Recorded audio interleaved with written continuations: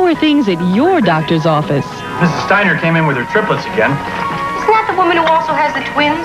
Yeah, I think her husband works for the Xerox company. Make an appointment with Brad and Angie, 6.30 Saturday here on Channel 2.